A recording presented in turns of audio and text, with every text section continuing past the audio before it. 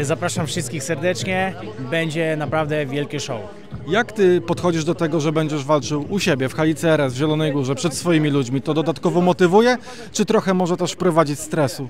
Nie, to zdecydowanie motywuje. Nie będzie to pierwszy raz, bo to już trzeci raz, kiedy będę walczył e, dla swojej publiczności na hali CRS.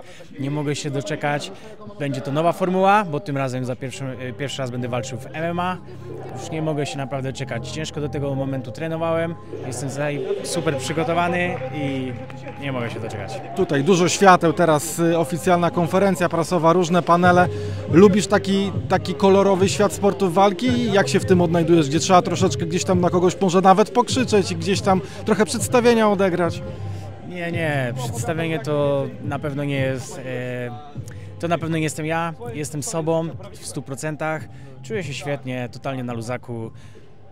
To jest mój świat.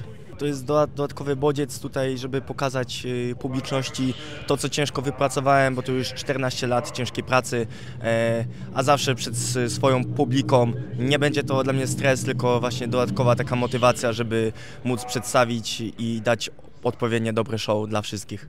To jest takie bezpowrotne przejście na zawodowstwo, czy, czy ty to będziesz jakoś łączył jeszcze?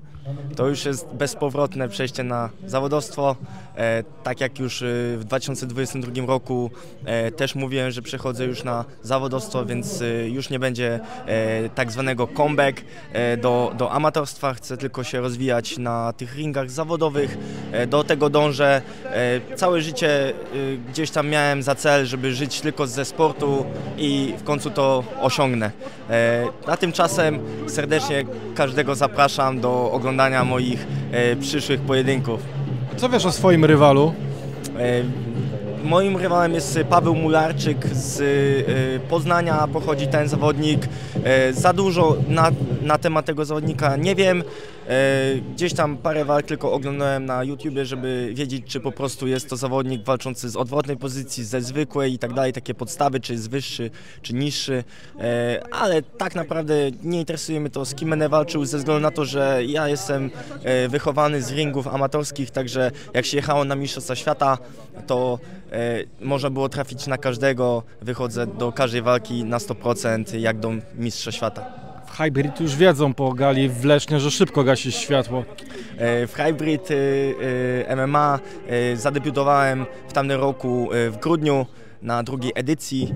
E, Skończyłem ten pojedynek bodajże po 53 sekundach, także udało się szybko tutaj to zakończyć, pokazać show i mam nadzieję, że i tym razem pokażę show, bo jestem ciężko przygotowany i na pewno, na pewno dam z siebie wszystko. Generalnie jestem zawsze zmobilizowany tak samo. Wiadomo, że tutaj na pewno publiczność mnie poniesie i na pewno będzie mnie wspierać z całych sił. Dla Zielonej Góry jest to duża promocja i, i świetnie, że, że organizatorzy o to zadbali też. Dzisiaj konferencja prasowa, podobno trochę dymów. Ty lubisz w takich klimatach się odnajdywać, gdzieś tam y, dołożyć trochę słownie do pieca przed galą, przed walką? Nie, ja lubię sport jakby. Ja lubię sport, walkę, jakby właśnie mamy zasady, wchodzimy i, że tak powiem, naprawdę chcemy sobie zrobić krzywdę, a po walce przybijamy piątkę i się szanujemy, nawet mamy kontakt i tak dalej, więc super, nie? Co powiesz o rywalu, bo to jest podobno freak, ale trenujący, tak się mówi, tak? Kurczę, ty freak, nie freak. Ja powiem, jaki to by nie był, czy to byłby typowy freak, trenujący, nie trenujący. Mówię, każdy ma, ma naprawdę, zawsze może uderzyć, można zaskoczyć. Tak samo jak tutaj mówimy, to są małe rękawice, więc trzeba uważać. Y, Jak żeśmy słyszeli zresztą na konferencji, Patryk chce mnie zaskoczyć, ja też chcę go zaskoczyć, no ale oczywiście ani on, ani ja nie możemy zdradzić jak. Organizatorzy się spytali, czy tam prowadzący o to, czy małe rękawice, no jasne, no nie można tak przyjmować bezkarnie na gardę. Ja lubię to robić, lubię wchodzić jakby i przyjmować dużo i oddawać. No tutaj będę musiał troszeczkę swój styl rozciągnąć i zmienić. Ostatnie godziny przed galą, przed walką, jak ty je lubisz spędzać? To jest czas, w którym się przebiera nogami, czy wręcz przeciwnie, jest spokój? Ja generalnie, no, no mówię, mm, wszyscy się stresują, każdy to inaczej okazuje, bo, bo, bo kiedyś tak mi powiedział trener Tadeusz Duda, mój, mój, mój pierwszy trener, no można powiedzieć, że do dzisiaj trener.